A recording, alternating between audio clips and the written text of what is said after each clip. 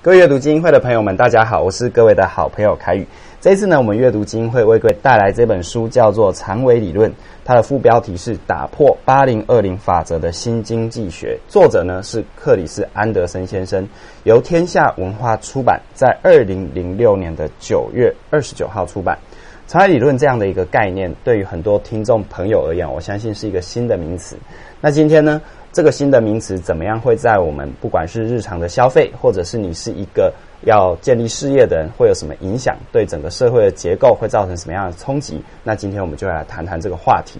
那我们这么特别的话题，也请到一位很有这个荣幸哦，请到一位教授来帮我们谈一谈这本书。而这一位呢，是台大国际企业研究所的教授。他呢也是这本书的导读的作者，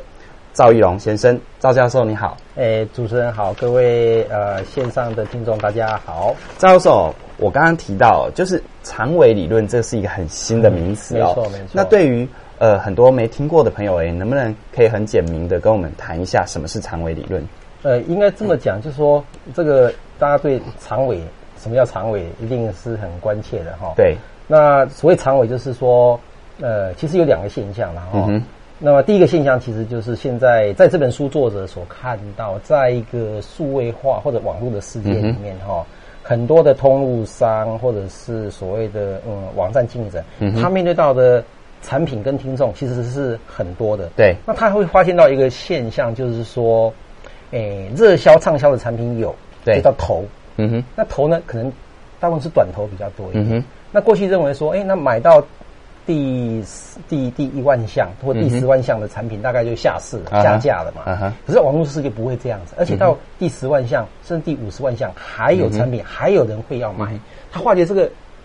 这个这个现象非常的长，就那种很冷门的，还是会有人要。呃，总是在世界上可能是是日本某个地方的产品，台湾有人要，或者加拿大的某个什么样的一个音乐，然后在非洲某个人要。这种现象里面一直都有。虽然。单品的量不多，可是这样加起来的产品就非常多。嗯哼，所以他就把这个这个长尾啊，把它当做是一个呃很特别的现象。嗯哼，可是这个现象里面还有业者去把它经营它。嗯哼，那这个跟实体通路里面是个很大差别。比如像便利商店，好，对，可能一千多项、两千多项，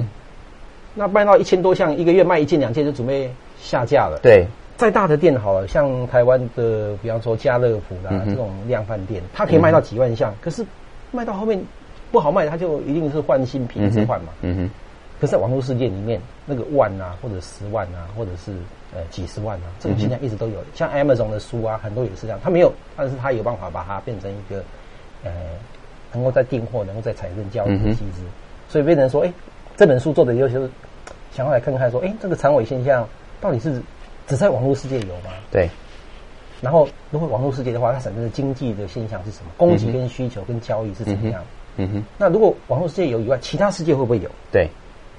过去有没有？嗯哼。其他的行业有没有？它化解其实都有，所以是这样一个过程。而且我发现还有一个很特别，就。依照您刚刚提到，它其实对传统所谓的经济效益这件事情造成一个很大的冲击，哎，因为一个便利商店它货架空间是有限的，嗯，所以它每一样上架的东西，它要去评估它的经济效益嘛，没错，好，那它货架成本各方面，可是我发现，如果从长尾理论的这样的一个概念，那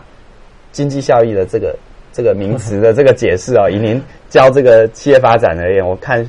会有一定的颠覆哦。呃，可以这么讲，就是说我们现在有点谈到的是后面的这个理论上的这个原因。虽然这个书名其实没有讲理论这这两个字的，只是我们国内编的时候把它加上理论这两个字。对。但是如果从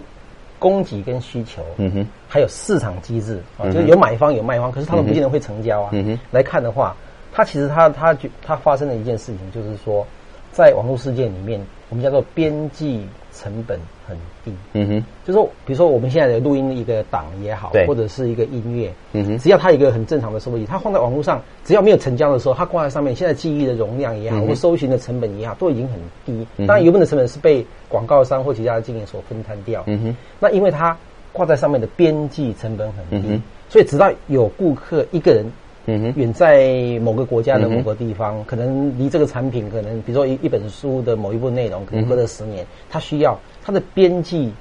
付的钱，我们叫边际收入，会大过它的边际成本。嗯哼，所以这个交易机制会存在。嗯哼，那实体通路里面就麻烦，就是说他要进这个货，他要挂在架上，他总要人去管理它，不管理他，当电脑档案里面，他肯定要定时去去搜寻它，所以它的成本是比较高的。所以现在来讲的话，等于边际成本跟边际收入，让市场机制可以来运作。嗯哼，我觉得这个是一个蛮蛮特蛮重要的一个观察点。对，那在长尾的部分哈，它其实是去耕耘每一个不同小众甚至于分众的一个利基。那这样子的话，大众市场它的存在意义是什么？那大众市场会不会因此就消失掉了？呃，应该这么讲，就像我在书本上，我其实我一开始讲到有的 A 类跟 B 类跟 C 类的产品，就是说传统上认为说，我们应该把主力重心，嗯哼，最好的货架空间，对，甚至最优秀的经营人才去照顾 A 类的客户哦，比如说很多公司里面就有 VIP 客户，不，管证券行业也好，对，这 A 类客户当然要照顾啊，就是主要的大众的，主要主力市场。那 B 类是刚好不上不下的，C 类是说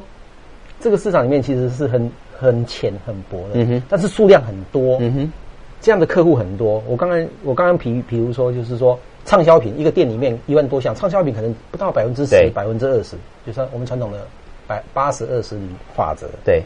那百分之八十剩下的或百分之七十都是属于 C 类比较多一点，嗯哼。或者像一个证券公司里面大户，嗯哼，或者是银行里面的所谓的叫做 VIP 吧，我理财专员要负责大户，大户当然是有 A 类会有，可是更多数的人可能是 C 类的的客户很多。嗯那现在就是说 C 类量很多，但是每一个人。每一个单品，每一个需求者，我有一个机制里面把系列的加起来的总数很多，嗯哼，这就是书上里面讲的第二个标题，就这个长尾其实是很长，如果长尾很短，就系列的很短的话，那可能就不太需要去经营它。可是系列因为很长，嗯哼，那我用一个很好的机制来经营它的话，那就变成一个很成功的。呃，我会想到一些例子来帮大读者大家来了解这个 A、B、C 类的，或者是所谓的长尾的现象，就是说。我我我们我们这样的比喻好了，一个一个航线哈，比如台北飞飞西雅图好了，航班那一定有头等舱，A 类嘛，重要的客户票价可能很贵，很贵，经济舱贵很多。对，那商务舱可能比较少一点，经济舱一定是比较大的。对，可是这个叫短尾。对，以长尾人的观点来看的话，因为一架波音七四七在四百个人左右，它可能有三百个左右是。或者两百多个是做经济经济舱，商务舱就是 B 类比较，头等舱更少，可是头等舱可能获利比较比较多一点。对，可是以总数来看的话，一定是经济舱是是主力啊。嗯哼，那可是它这不管怎么样，它才两百，人家波音飞机来讲只在四百个上下的客人。对，可是长尾来讲话不是四百个，它可能是四万个，嗯可能是四十万个，就后面的尾巴非常长。嗯哼，那这个有个机制里面来运作，我觉得这也是一个让我们大家可以来想一想，就是。因为后面就很长，所以我用一个很好的机制来 run 的时候，它就变成，你也可以说是它大众市场。嗯哼，虽然每个人票价比较对比较少一点，可是这样的人会比较多一点。对，甚至这些 C 类的经济舱可能一年才飞一趟来回，对，比不上商务舱的，对，或比不上头等舱的，对。可是它加起来的量，嗯哼，就比较多一点。这是书上写的第二个副标题嘛，就是 selling less of more，就是我们卖。卖一个人可能一年才一次，嗯哼，或一年才两次，嗯哼。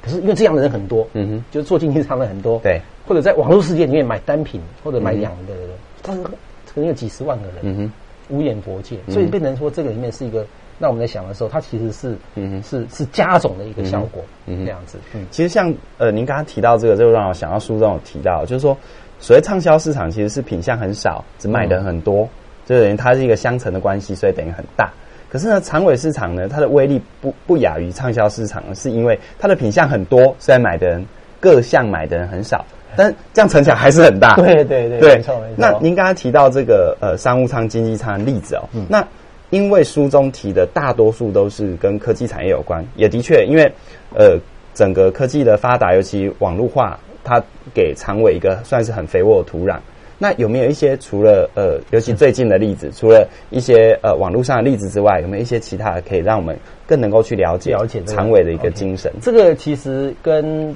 呃，它其实因为是我们讲消消费或零售市场，它其实跟一个社会文化是有关联度的哈。这个书上里面，他讲美国的社会文化，讲一个例子，嗯哼，那叫做 Sears，就美国曾经是最大的百货公司，对。那 Sears，可是我台湾台湾的。台湾也好，或者是我们听华语的世界的一些朋友可能对 CS 不是很了解。对，呃，他讲 CS 在一八九三年的时候，他们是做等于是叫行路邮购。嗯哼，所以他很早就用长尾的概念在 run，因为美国那个时候还没有现在的洲际的。的公路运输系统没有汽车就对了，嗯哼，所以它变成说每个家庭里面可能他买的，诶，家里厨房要用的炊具啦，或者是农具啦，或者是手表，或者是衣服啊，其实每个家庭可能就买一套或者是一件，嗯哼，可是他用邮购的方法里面来装，美国家庭很多的时候，他就可以变成一个用长尾的方式在 run，就是每一个人买一个单品，可是他用他的方法里面。用美国的邮政系统，其实用马车配送啊，嗯哼，然后用以前的火车去配送到大点，再分散到小点。他一开始讲这个例子，是让很多人的想法说，长尾理论并不是就是大看泡沫化之后新出现的东西。它其实很早就有企业用仓尾的概念在 run，像是也是在一八九三年上上个世纪在 run，就会有这种情况。嗯哼，那回到我们最新的 case 好了，我刚刚就最近在思考。我们今年度的诺贝尔和平奖的得主哈，叫穆哈马特·尤纳斯，在孟加拉开的银行叫 g r e e m a n 他的方法里面，他其实他得他不是得诺贝尔的经济经济奖，他得的是一个和平奖。和平奖，但是里面有个很很重要的事情，就是说他用小额贷款，嗯哼，放款给孟加拉的的一般的民众，甚至是很贫穷的民众。我看过一些资料，说他平均放。就贷款放款的话是两百五十块美金，嗯哼，等于用台币的话大概就是还还七还不到一万块，七千多块这样子。然后用人民币算的话，就可能只有多少？这张八吧，嗯，就是差不多也是两千块人民币这样子。那像这样的额度很小，他放给对象非常多。对，那你想一想，如果我们一般经营银行的话，一定是找那种。比如说大客户啊，就是我刚才讲 A 类嘛，就是大客户一次贷款就一百万美金好了，或者五十万美金。然后我我放一个一百万的客户，比放两百五十块美美金，你要放款要多少个人对才能够达到这样的？而且小额放款，他说不定他还不起啊。我们上完学的说他有没有抵押品啊，有没有什么东西啊？嗯哼。但是那个 UNUS 他设计一些方法，在经营那个长尾这个在孟加拉这个市场。当然，让他们能够，他银行他也赚到钱。嗯哼，让那些呃，他放款的对象里面用女性为主。嗯哼，他们做一些机制啊，创业啊，然后又互相连，等于讲连保连带这样的方法里面，让他们也能够赚到钱，等于是双赢。对，所以等于是他帮助很多人脱贫。嗯哼，那他等于是就是也有点像刚刚我我所描述的，在验证，或者是不能说验证，就是说他用的方法里面也是把 C 类市场当做很长，用的机制在经营。那同时，他也干 A 类的大客户、B 类的客户在做，但是不能把 C 类放弃掉。嗯哼，因为他发觉这里面的确是，只要用一个很好的机制在 run 的话，嗯哼，也可以把它经营的很好。嗯哼，换句话说，就长尾不一定是在网络世界啊。对，刚才讲的 CS 那种行路邮购很早就在做，然后我们最新的 case 里面，在金融业里面，嗯哼，他也用一些方法里面在 run。我觉得这个都可以让我们来引申很多的思考点。对，而且我觉得哈，我记得您提到这个。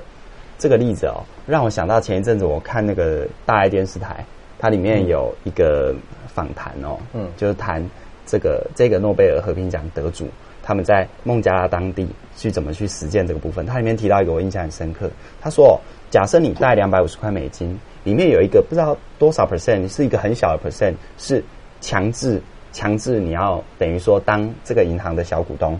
好这样子对，然后让你跟那个银行哈更有归属感。因为如果那个银行有一部分是你的，你不会不还钱，甚至于你身旁周遭的亲戚朋友全部跟这个银行贷款，你也会催促他们记得要还钱哦。哦，所以我就觉得这让我想到，其实长尾它里面是很多的小众，很多的小众它其实是个别，我觉得那情感的联系会比那种大众那种铺天盖地，可能彼此之间没什么联系 的那个是很有差别的。就小众它就是一个小小的社群，小小的社群，但彼此很紧密。嗯，但也因为这样，它的力道就很强。你你这样讲的话，就是我们可以再延伸。如果听众朋友有机会看看这本书的话，它里面内容有提到两个观念哈。嗯哼，一个叫做 aggregator 整合者，一个叫 filter，就是所谓的筛选器或者过滤者一样。对，你刚才描述那个那个银行放款的人，就是。因为银行它本身用一个机制把整合把他们存在一起，可是那个每一个放款的人变成股东也好，或者互相连带或联保，它有点是变成过滤器。因为你贷款，你我帮你联保或者是连贷的话，其实我也有责任。我我我会筛选的人是说，他本身拿了这个钱，不是把它吃掉、喝掉、消费掉，他是打算创业做一个小的一个一个小生意。小生意。那你在做，我也是当你联保对象，我也变成一个筛选器，一样我也是推荐你，你也我也会帮你嘛，或者是变成你的顾客，这样子来做。所以这里面就是说，我们刚才讲，就是说 C 类的产品，C 类的市场里面有一些机制，嗯哼，是由整合者加上过滤者里面在推动的事情。它跟 A 类市场不一样啊。对，A 类上可能就啊，这个大客户啦，或者畅销品，大家看到了以后就跟进啊，这样子。所以它它是有一些特别的经营的。方法对，其实哦，谈到这边，我觉得我们所有听众朋友一定听得意犹未尽哦。那我很鼓励哦，所有的朋友可以亲自来看这本书。那我们第一段的访问先到这边，在接下来第二段当中呢，我们会谈一谈哦，因为长尾更深入的，它到底是怎么样形成的？到底有什么样的随着时代背景的演变，让长尾渐渐的在我们身旁，不管你有没有感觉，它不断的影响我们的 everyday life。OK，那我们的第一段就到这边，谢谢各位。各位阅读基金会的朋友们，大家好，我是各位的好朋友凯宇。接着呢，我们进入长尾理论，我们的访问，访问赵玉龙教授的第二段内容。那我们前面有提到长尾理论一个基本的概念，那赵教授也很热情的帮帮我们分享了很多很多的例子，包含诺贝尔奖最新出炉和平奖的得主。那赵教授，我觉得接下来我蛮想跟大家一样同样的问题，就是哦，常委它到底怎么形成的？它难道就真的是呃网络时代来临这么单纯吗？有没有一些更细致的东西可以跟我们谈？呃，其实书上讲一开始讲一个讲一个例子哈，讲说一些书啊，嗯呃，可能写的很好。我把我把我把书名再把它找出来给大家稍微报告一下好了。哦，这个因为中文的书哈，它有些那个翻译的音已经慢慢的改变了。对，对不起，我把它找出来。呃，他开始他开始说。那个有一本书是叫做《攀越巅峰》嘛，冰峰讲在攀越喜马拉雅山哦，对对对，这样子。然后后来后来花姐说那本书大家觉得攀越喜马拉雅山，因为是世界第一高峰，他觉得这个书很好。可是他出来以后，在网络世界人家传说，哎，其实这本书虽然是个是一个很好的一个经历的过程，可是他写的书里面其实不如另外一本书好。嗯哼。那那本书其实是以前写的好，可是因为没有推波助澜，没有。嗯，没有没有没有推的很畅销这样，所以他就行销力上面没有那么强，就是。可是因为有网络世界啊，所以那本书可能过了两三年之后，他本来已经默默无闻或者要下市了。嗯哼，如果在实体书店能这样子，后来就把把它带回来。嗯哼，换句话说，这里面有个过程，里面就是说，这个行程里面是这样，就是它并不是书商或出版社来决定这本书畅销不畅销，就就慢慢第一版印完了就有下架这样子。对，就市场里面有其他人会看过书的人，他会写一些书评。然后有些人引起别人在看，嗯哼会有滚雪球的效应。换句话说，有很多坡里面是在不同世界里面，就是说以前推荐的是要专业的书评，对，或者作家，或者同样这个领域里面。哎，现在不是啊，现在是在在网络世界里面有很多的我们叫影响者会出现，没错，他会汇集起来。嗯哼，那这里面就牵涉到一件很重要的事情，就是说这个市场里面有很多的影响者，嗯哼，是来自四面八方。对，那在在网络世界来看的话，比如说现在像 YouTube。嗯哼，其实大家都自己在写他自己的东西。对，或者部落格里面，其实每个人都租了一个 My My Space My Page，对，用的话是一种赝品。但只是说这过程里面，有人知道会形成一些同号。嗯哼，他自己有一些方法里面来影响这些人传递这些信息出来，所以变成说，就说生产大众化。嗯哼，在网络世界里面。就是 nobody，或者是自己是一个人，他也可以用方式里面传递他的 community 啊，他的一些讯息啊，他的这些人可以传播出来，就形成了一个一个力量。嗯哼，那因为他制作的成本其实也很低。用用长尾理论的书里面的概念讲话，这世界里面有很多的专业业余者，专业业余者，pro amateurs，professional 跟 amateurs，因为因为有些人都。除他的专业工作以外，或者是他的工作本身就可以让他，比如他是摄影，嗯哼，他玩数位相机，对，他玩数位录影，嗯哼，有些人用 MIDI 用他编的曲子，嗯哼，有些人就是喜欢拍一些东西去吃美食，对，有些人又是对对民宿我特别的有兴趣，然后去一个地方他有他的想法，嗯哼，他其实他制作的时候，他就是个人的 amateur 业余者，哎，他就做的也蛮有水准的，当他铺在一个地方或挂在一个地方的时候，又可能传递出去，好。那这里面就牵到第二个，就是所谓的那个配销大众化或配销民主化。刚刚提到 aggregator，我们刚才有描述这个概念。就这里面来讲的话，刚才提到 YouTube 也好，或者是音乐分享，像 iTunes 也好，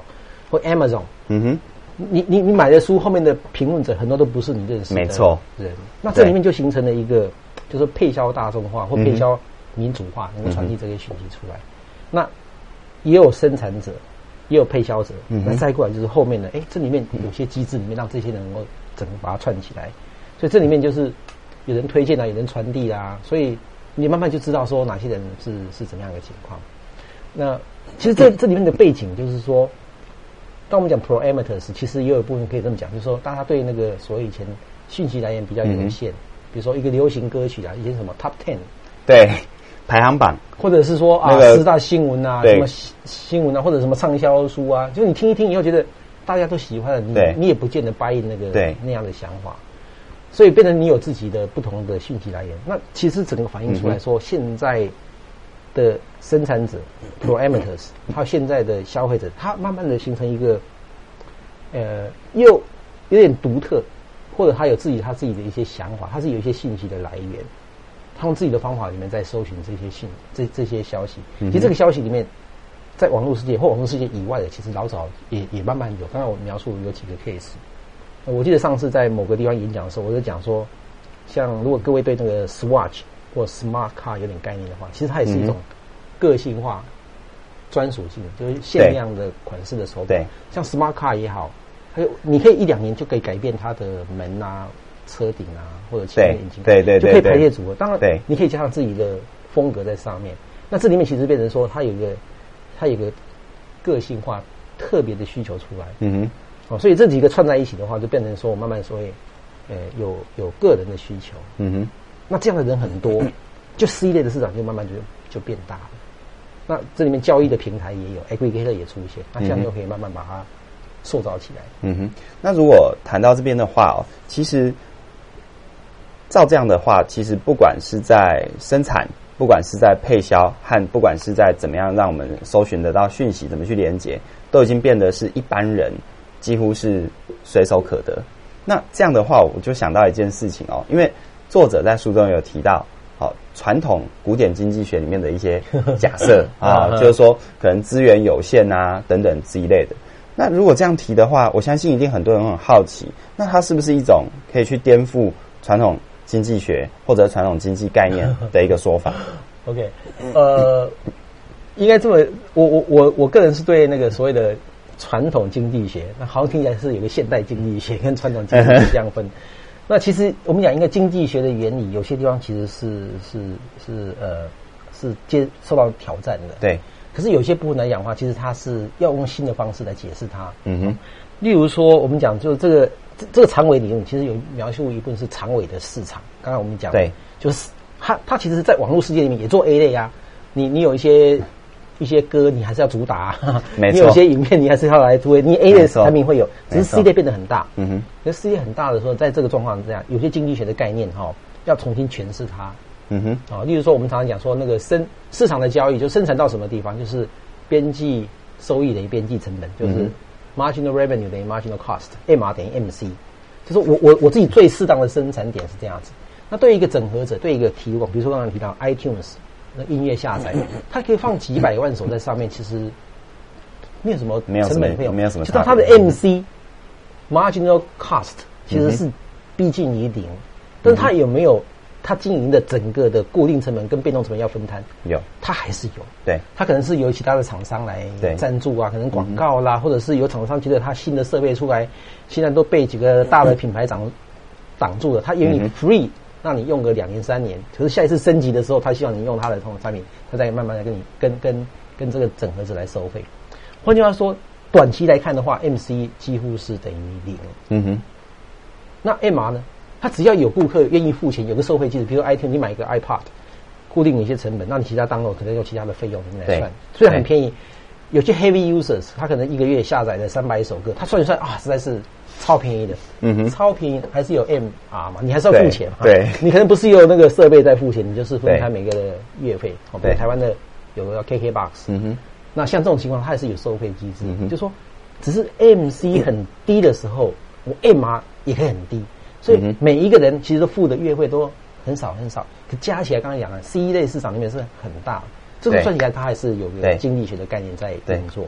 所以我不认为说，呃，就是说有时候我们讲说什么传统经济学不适用，那意思说我们要创造一个新经济学，可是我我觉得只要把原来的经济学或者是我们讲厂商理论。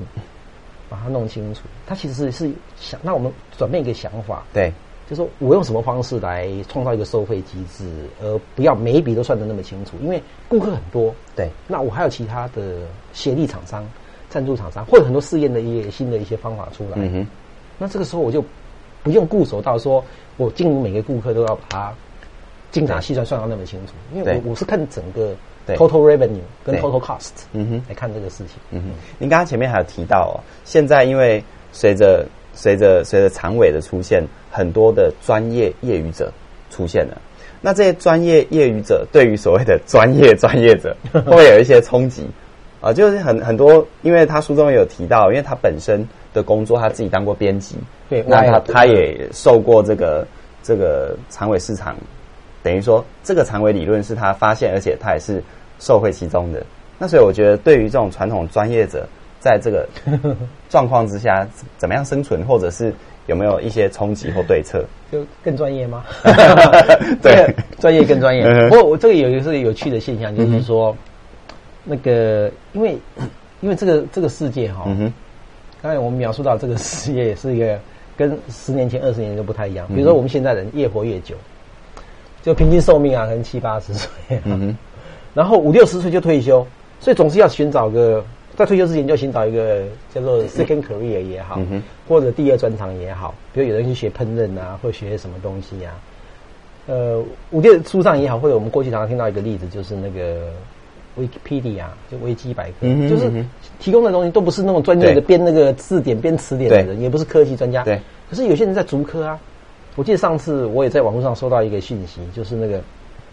好像是足科，好像是联电嘛，一个工程师讲那个房屋设计的时候，用那个 IC 版的线路图来设计，来看那个房屋的格局呀，就是一般买那个房地产，我觉得他写的也很好啊。嗯哼，就说看房屋的这种 layout 的啊，看房地产这种这种东西，什么大工小工，还有很多的配置的东西，以前都依赖房地产的所谓的专家。嗯可是可能竹科或另外一个领域的专家，他可能他另外的角度来看这个事情。嗯哼，我觉得他解释的也很好。嗯哼，那他也算是个业余的专家，说不定对原来的所谓的房地产专家，他又可以学到一些新的一些概念。所以像维基百科，很多人在上面写啊，就是根据他看到的东西来写。我们最近那个他在讲，书上也谈到一个，就是电视新闻吧，或电视的主播吧。嗯哼，其实电视新闻现在频道越来越多，以前主播可能就蛮有专业嘛，他新闻采访的角度。对，我们不好意思讲台湾的。的名记者 好或主播好了，可是现在其实很多人都有他现场他看到一些讯息啊，他用他的 video，他 他用他的他的部落格的方式在写。真倒过来讲，电视主播他也是要开部落格，因为电视台的那个播新闻的整点新闻的时间有限，嗯他很多的观点他没办法在半个小时之内把那个新闻他的个人的一些观察或者是他的收集其他档案里面所报告东西放在上面，所以几乎所有的主播都开部落格啊。因为他还有空间里面走，表示说电视的我们叫做货架空间有限，它的过滤器太多了。嗯哼，那只有上到网络平台上来讲话，可以脏很多东西。所以他们那些专业的也是变成业余者，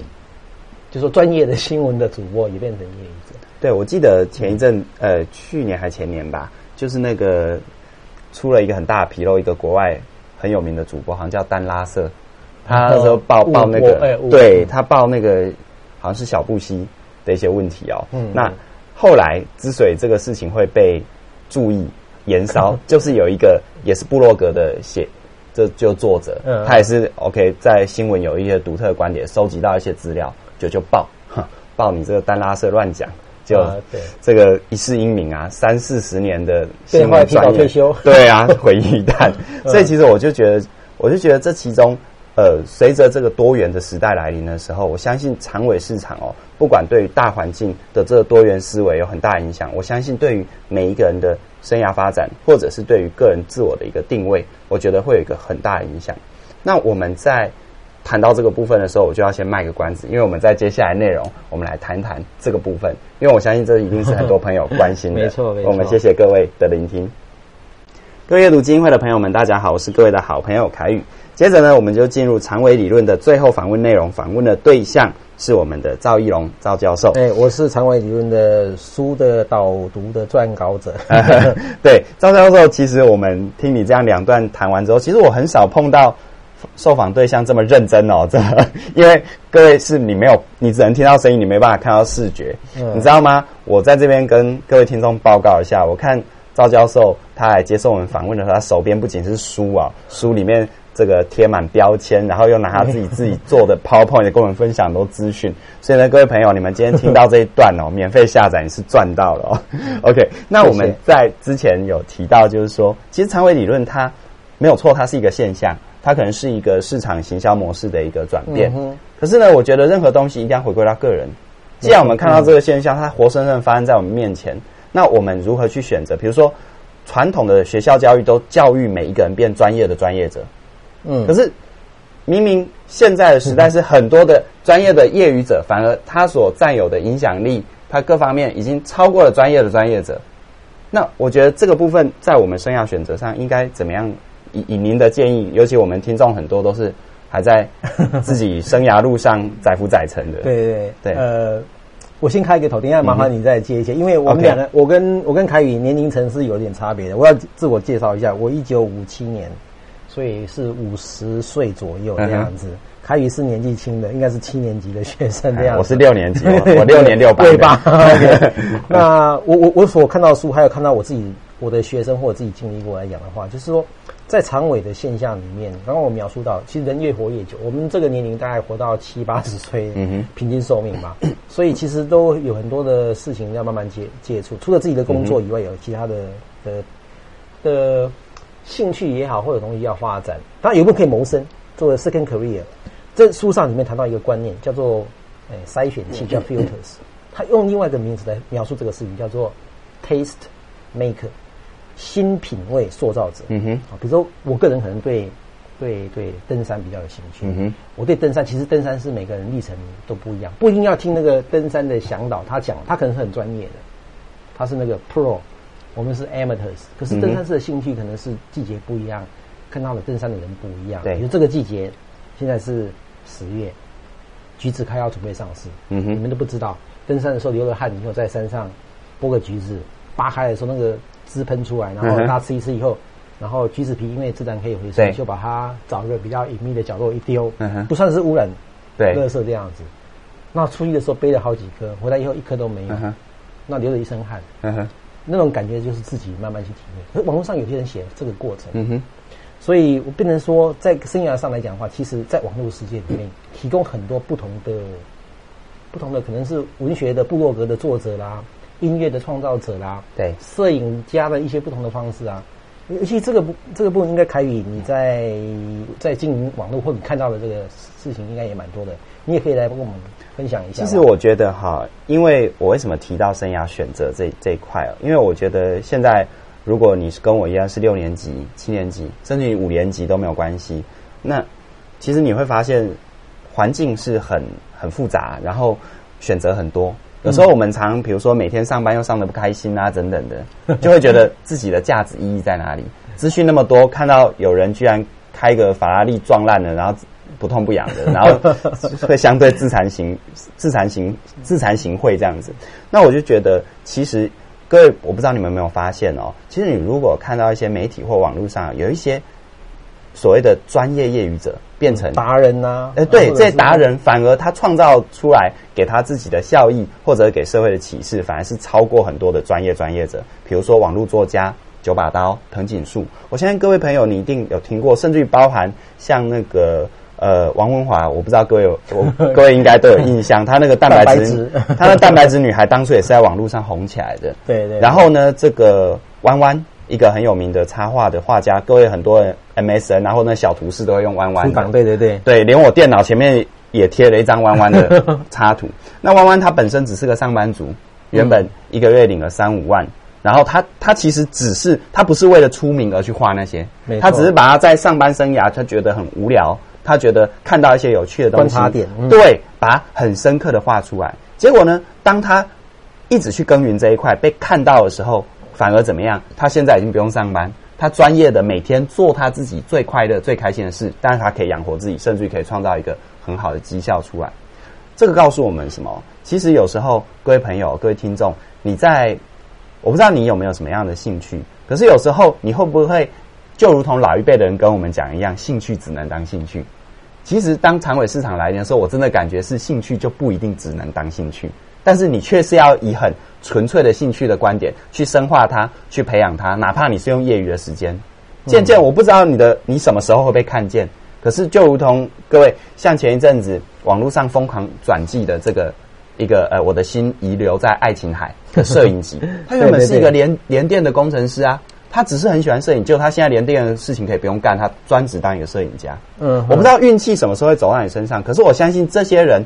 当初绝对不是为了要成名，绝对不是为了要卖钱而去做那些事，绝对是真的回归到自己的内心。嗯哼，其实有时候我觉得有很多朋友你。之所以会谈兴趣，只只能把它当兴趣，其实你有时候是掺着了一些不大纯正的动机在里面。你可能想利用它红，往往你越是想红，就越红不了。呀，有可能这样。对我自己本身经营阅读机会有很深刻的感觉，我越是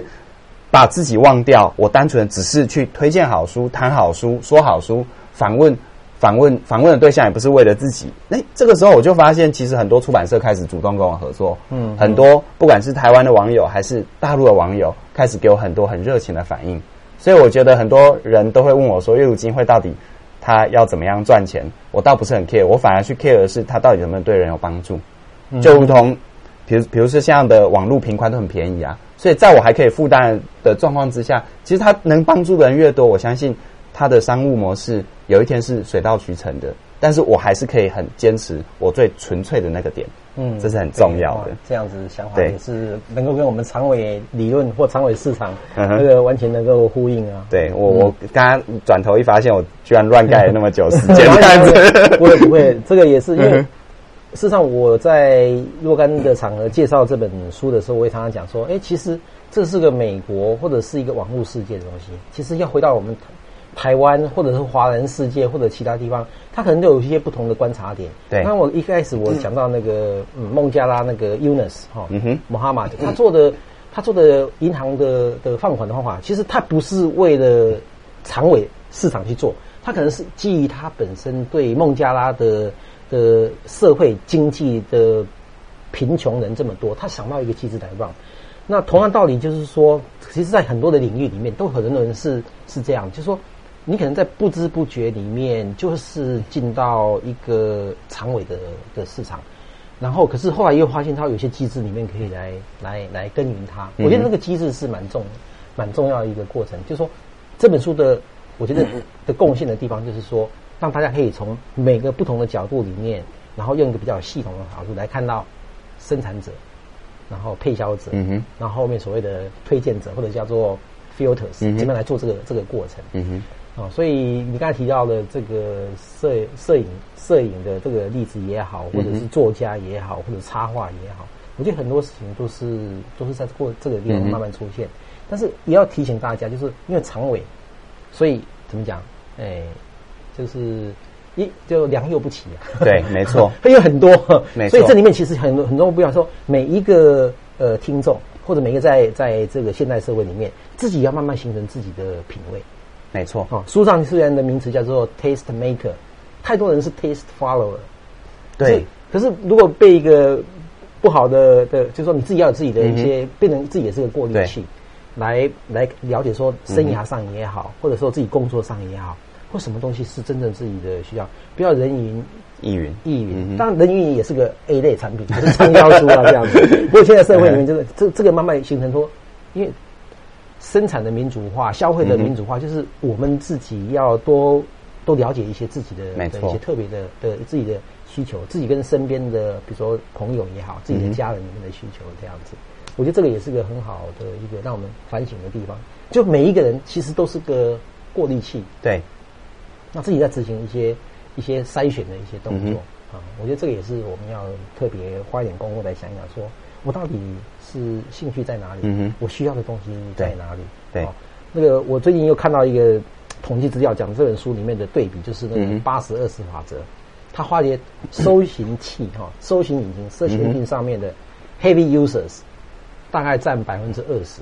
嗯哼，然后大家用掉所有搜寻哦，就是用 Google 啦，用什么 Yahoo，，用什么搜寻里面的百分之大概六十八左右，百分之六，就百分之二十的搜寻者 searchers，嗯哼，占用所有的搜搜寻的连接点啊，占了百分之六十八，嗯哼，就换句话说。其实大多数人都是 C 类比较多的，就百分之五十人可能是搜寻的比例非常少，对，这样子。就这个世界应该是这样子的组成的，所以其实每个人不管怎么样，都是有自己的那样过滤器的方法里面，在在在在认识这个世界。好，那有畅销的东西，A 类东西自己也会注意。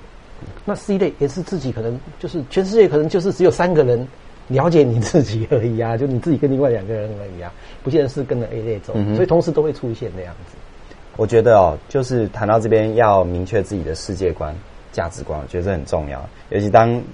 选择越多、价值混乱的时候，我觉得先要弄清楚自己要的是什么，要不然好像真的很容易落入一种人云亦云，要不然就是莫衷一是，很多啊，不知道怎么办。对啊，对啊，这样。嗯，哎，那教授，我想说哈，我们的访问接近尾声了。哦，这么快啊？对，那那 那这个意犹未尽这样子。OK，那除了这本书之外，他谈的是这样的一个概念之外，您以您本身而言啊，有没有一些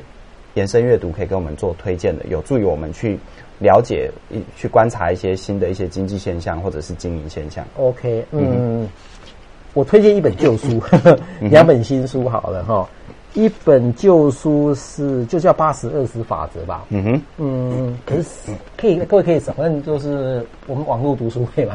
对，所以上网可以搜寻到搜寻得到八十二十法则，应该是台湾有翻译吧？哈，是大块文化出的。对，那如果要查原文的话，就查那个作者叫 Richard，嗯哼，然后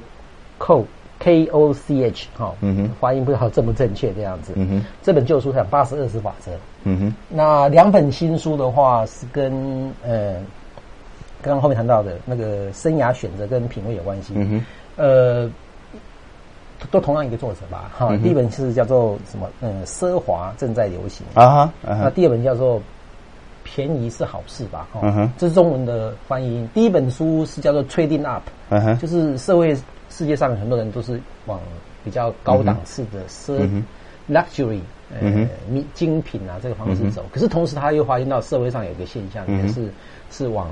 往便宜是好事，叫做 treasure hunt，就是要花钱找到自己真正自己需要的。嗯哼，或者现在人其实省钱，嗯哼，同时把省的钱去做犒赏自己的，比如旅游啦，特别有商品，这个同时在在出现。我觉得，那我们来看看这个新品味受到者的时候啊，就是可以给我们很。同时给了一些不同的的一些观察点来思考，我觉得这两本书都算是可以，呃，做现代人的借鉴。嗯，奢华正在流行和便宜是好事，这让我其实让我想到那个 M 型社会里面谈的哦，对，两极化的，对，它是我不知道是因哪个是因哪个是果哎，因为如果按照 M 型社会的思考来看的话，其实那没有办法，因为就是两极化的社会，所以一群人可以很奢华的过日子，另外一群人没有办法。这这本书讲的同时出现，嗯，那我觉得可以帮助我们思考，因为现在一部分 M 型社会讲的是中产阶级里面的，其实它本身就在分化，对。但是因为网络世界可以让自己有更多的机会里面去变成生产者，然后创造自己的一些，比如说很多人那种自己旅游完以后就自己把自己的的旅游的网志就写在上面，对，然后就慢慢形成一些自己的一些一些。看法或者是一些地点里面的他自己的评价，不记得遵照那个旅游达人或者美食专家的建议，他有慢慢的行动。我觉得这个都是。那我们来看这个所谓长尾市场的时候，到底其实我我我有时候用一个心理学的术语，我知道凯宇也是学过心理学。那个 A 类短头哈，畅销的类型，其实它的心理学上叫做从众的行为，对，叫 conformity，就是我跟着。歌手，我跟着我是歌迷，我是影迷，我是跟着大家走。那后面的长尾的现象，其实是每个人在从众之余里面，又慢慢要寻找自我本身的独特性，uniqueness。对。那其实是现代人的社会里面，在网络世界里面更容易出现两个情形，对，同时都在走，同时存在。对对对，所以所以长尾的现象是不断的增加，因为对大家受的教育、生活的接触面、生活的品味，或你身边的朋友里面，你从众的行为会有，不然不看电视也要常常。是吧？不，没有知识也要 也要常常我常常看电视，可在 电视里面，你其实不太相信他，你慢慢也形成自己的看法，所以那个 uniqueness 的市场也会慢慢出现。那越有 uniqueness 的话，就越多的嗯长尾的市场会来出现。嗯哼，好，那呃，我们非常谢谢赵教授。接受我们这样的一个访问哦，那我们真的很期待哦，之后还有更多的机会来跟赵教授谈有关于其他这方面或者是类似领域的一些书籍。那我们谢谢赵教授，也谢谢各位听众。好，那我们阅读基金会的肠胃理论的访问内容就到这边，期待我们接下来内容，再会。